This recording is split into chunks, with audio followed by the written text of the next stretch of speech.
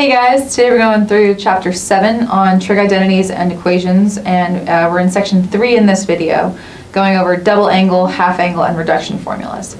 So in this video we're going through number 7 which says find the exact values for the sine of the double angle, the cosine of the double angle, and the tangent of the double angle if the cosine of x equals negative half and x is in the third quadrant. So I've written here our formulas for the double angles. So we're going to use these, but first we need to go ahead and set up our angle in the third quadrant. So we'll draw our coordinates and we'll draw out this x angle here. And it says the cosine of x is going to equal to negative half. And I'm going to go ahead and make this our triangle here. And we know that the cosine from SOHCAHTOA is equal to the adjacent of the angle over the hypotenuse. So we've got a negative 1 here going out uh, to the negative x-axis, and our hypotenuse is going to be 2. So if we want to go ahead and complete the triangle, we're going to find that 2 squared minus negative 1 squared square rooted equals our y. So our y we have is going to equal to the square root of 4 minus 1, so the square root of 3, and we know that since that's in the third quadrant, it's going to be negative. So we've got a negative square root of 3. Cool, so now we've got um, all of our uh, sides of the triangle, and we can go ahead and plug into our uh, formula here using our reference angle.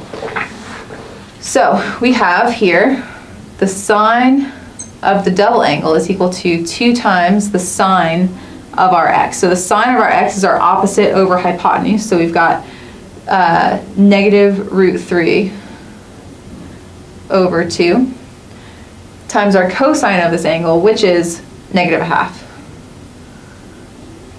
And so we find that the sine of the double angle is equal to, we've got our negative root 3 times a negative, so that becomes a positive, and one of our 2's cancel out, so we get root 3 over 2 is going to be the sine of that double angle.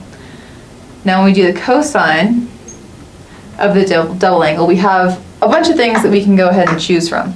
I'm going to choose to use this formula right here since we're already given the cosine of the angle. So I'll go ahead and plug in 2 times the cosine of theta squared. So the cosine of the angle is negative half, and then we'll go ahead and square it and subtract 1. When we solve that out, we get 2 times 1 fourth minus 1, so we get a half minus 1 is equal to negative a half. Cool, so our cosine of the double angle is equal to negative a half. Then when we go ahead and do our tangent of the double angle, we know that this is going to be the sine of the double angle over the cosine of the double angle. So we just take our root 3 over 2 and we're going to take that divided by negative a half or times the reciprocal.